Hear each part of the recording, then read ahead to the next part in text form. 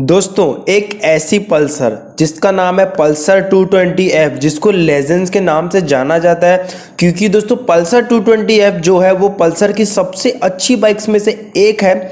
लेकिन दोस्तों, अब मैं आप लोगों को बता दूँ कि यहाँ पे दो भाई हो गए हैं। पल्सर 220F बड़ा भाई हो गया और उसका एक छोटा भाई आ गया, पल्सर 180F तो यहाँ पे आप लोगों को बहुत सारा कन्फ्यूज़न रहता है और मुझे आप लोगों ने डिमांड भी की थी कि भाई मुझे ये बताइए कि हम बड़ा बाइक खरीदें या छोटा बाइक खरीदें।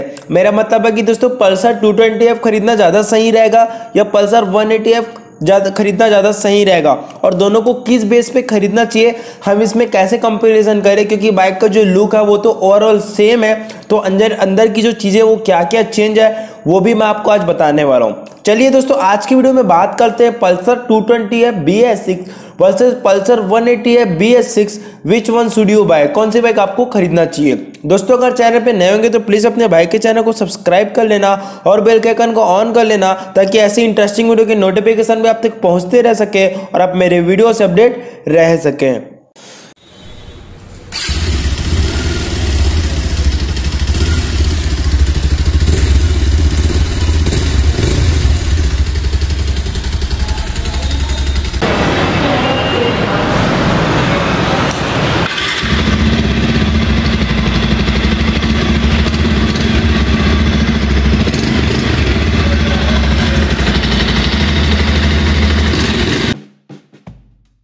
दोस्तों, सबसे पहले बात कर लेते हैं प्राइस के बारे में, क्योंकि मेरे हिसाब से सबसे ज़्यादा इंपॉर्टेंट होता है पैसा एंड प्राइस बजट क्योंकि हम किसी भी चीज़ को खरीदना चाहते हैं, किसी भी चीज़ को, चाहे वो बाइक हो चाहे वो प्रोडक्ट हो, चाहे वो कोई भी चीज़ हो तो हम सबसे पहले यही सोचते हैं कि इसका प्राइस कितना होगा, हमें इसका कितना पैसा देना पड़ेगा। तो दोस्तों, मैं आप लोगों को बता दूँ पल्सर टू ट्वेंटी इसका ऑन रोड प्राइस है, एक लाख चालीस हज़ार रुपये वन लैख फोर्टी थाउज़ेंड और वहीं आप लोगों को पल्सर वन एटी मिल जाती है वन लैख थर्टी थाउज़ेंड। तो यहाँ पे सिर्फ़ और सिर्फ़ टेन थाउज़ेंड का डिफरेंस हमें यहाँ पे देखने को मिल जाता है। अब इस भाई, मैं बोलूँगा कि ये कोई ज़्यादा डिफरेंस नहीं है, क्योंकि अगर आप वन एटी ऐप ले सकते हैं तो पल्सर 220 भी ऐप ले सकते हैं। आपके लिए कोई बड़ी बात नहीं होगी, दस हज़ार रुपये ज़्यादा देना। लेकिन भाई, अगर अब दो बाइक है तो ज़ाहिर सी बात है इन दोनों के बीच कंपैरिजन तो करना पड़ेगा और देखना पड़ेगा कि क्या क्या इसमें चेंजेस है और हमें कौन सी बाइक खरीदना चाहिए।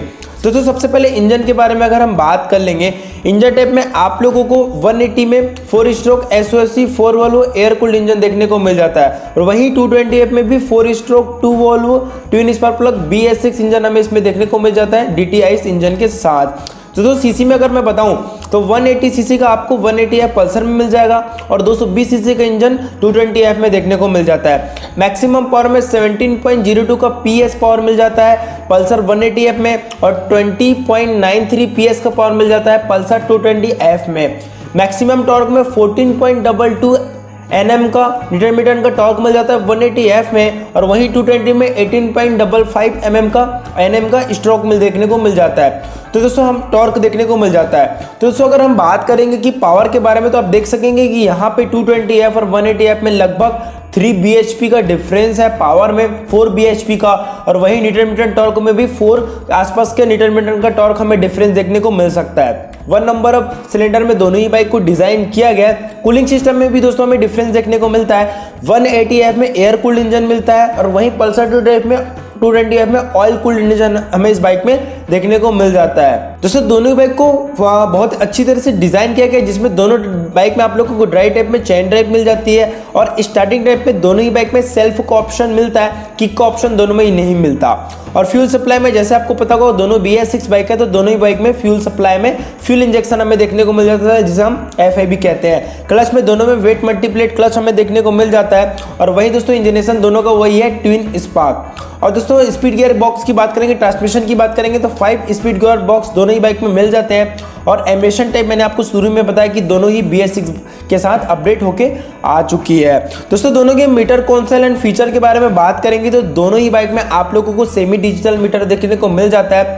वहीं पे दोस्तों, आप लोगों को यहाँ पे एबीएस में दोनों ही बाइक में सिंगल चैनल एबीएस मिल जाता है। स्पीडोमीटर में दोनों में डिजिटल मिल जाता है टेकोमीटर दोनों में एनालॉग मिल जाता है ऑडोमीटर दोनों में डिजिटल मिल जाता है और ट्रिप मीटर दोनों में डिजिटल मिल जाता है। फ्यूल गेज भी दोनों में डिजिटल मिल जाता है। और कौनसल में दोनों में आपको एनालॉग एंड डिजिटल दोनों ही आपको देखने को मिल जाता है। सिर्फ़ टेकोमीटर आप लोग को यहाँ पे एनालॉग देखने को मिलता है। बाकी चीज़ें आपको डिजिटल मिल जाती है और उसी में आपको क्लॉक भी मिल जाता है, जो कि काफ़ी अच्छी है।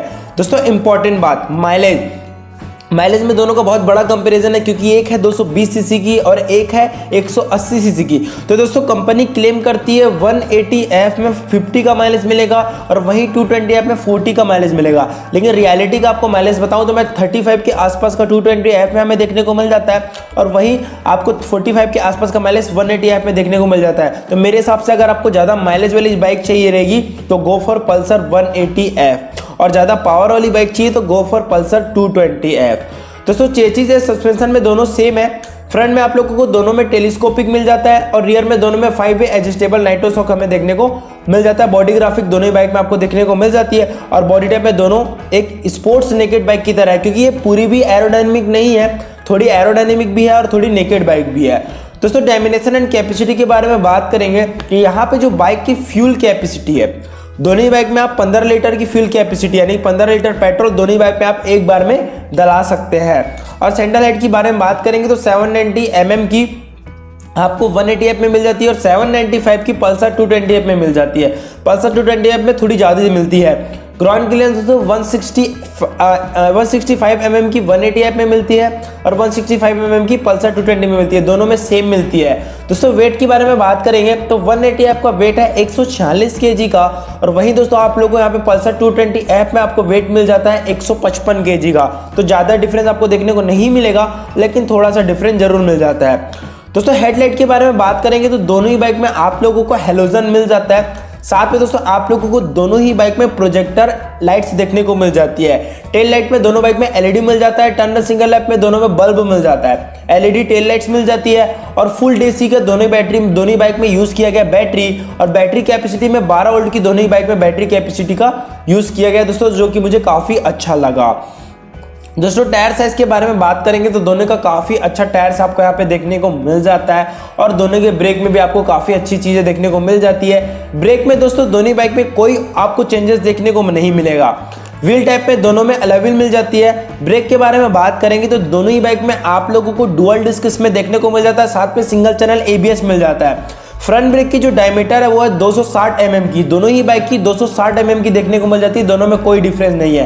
यानी कि जो प्लेट है, उसकी साइज़ है 260 सौ mm की और रियर ब्रेक में दोनों की जो साइज़ है, वो है 230 थर्टी mm की। 230 सौ mm की दोनों में रियर ब्रेक की साइज़ यानी जो प्लेट है, उसकी साइज़ हमें देखने को मिल जाती है। दोस्तों, दोनों के टायर्स के अगर बारे में बात करेंगे, दोस्तों टायर्स में भी आप लोगों को कोई चेंजेस देखने को नहीं मिलता। फ्रंट टायर में आप लोगों को 180 1990 का टायर देखने को मिल जाता है। और वहीं दोस्तों पल्सर 220F में भी 1990 का टायर देखने को मिल जाता है। रियर टायर में भी पल्सर 180F में भी 120 80 का टायर मिल जाता है और इसमें भी आपको 220F में भी 120 80 का टायर हमें देखने को मिल जाता है। यानी कि टायर्स में दोनों बाइक में कोई डिफरेंस नहीं है। लुक दोनों का सेम है। अब चेंज क्या एक्चुअल में और किस बाइक को परचेज करना चाहिए दोस्तों? अब ये बात कर लेते हैं, जो कि सबसे इंपॉर्टेंट आज का वीडियो है। देखिए दोस्तों, मैं आप लोगों को स्टेप बाय स्टेप समझाऊँगा तो आप लोगों को समझ में आ जाएगा कि आप लोगों के लिए कौन सी बाइक ज़्यादा बेटर है। सबसे पहला है दोस्तों पावर देखिए, अगर आप लोगों को ज़्यादा पावर की बाइक चाहिए और माइलेज कम चाहिए माइलेज कम भी होगा तो चल जाएगा। देखिए, अगर आपको बाइक ज़्यादा हाईवे की चलाने के लिए चाहिए, कम सिटी के लिए चाहिए तो मैं यहाँ पे आपको सजेस्ट करूँगा, ज़्यादा पावरफुल है पल्सर टू है सीधी सी बात है। और अगर आप लोगों को बाइक सिटी में ज़्यादा चलाने के लिए चाहिए, हाईवे के लिए कम चाहिए, आपको माइलेज ज़्यादा चाहिए तो गोफर पल्सर 180 है थोड़ा कम पावर मिलेगा, लेकिन माइलेज आपको इस बाइक में ज़्यादा देखने को मिल जाता है। सेकेंड थिंग दोस्तों, आपकी हाइट और आपका वेट ये भी बहुत ज़्यादा इंपॉर्टेंट है। क्योंकि दोस्तों, अगर मान लीजिए आपकी हाइट ज़्यादा है और आपका वेट ज़्यादा है तो यहाँ पे आपको मैं सजेस्ट करूँगा पल्सर 220 एफ़ और अगर आपकी हाइट कम है और आपका वेट कम है तो गो फॉर पल्सर 180 एफ़ थोड़ी लाइट है, थोड़ा कम पावर थोड़ी हाइट भी हल्की से आपको कम महसूस होगी। तो यहाँ पे मुझे लगती है ये ज़्यादा बेटर हो जाती है। थर्ड माइलेज दोस्तों माइलेज के मामले में मैं क्या कंपैरिजन करूँ? आप लोगों को खुद को पता है कि 220F कम माइलेज देगी 180F ज़्यादा माइलेज देगी। अगर आप लोगों को ज़्यादा माइलेज चाहिए 45 से 50 के आसपास का तो गो फॉर पल्सर 180F और अगर आपको पावर ज़्यादा चाहिए माइलेज कम भी रहेगा तो चलेगा तो 35 से 40 का माइलेज आपको 220F में देखने को मिल जाएगा। फोर्थ आपको गाड़ी किस यूज़ पर्पज़ के लिए चाहिए। देखिए, दो पर्पज़ होते हैं मेन मेरे हिसाब से।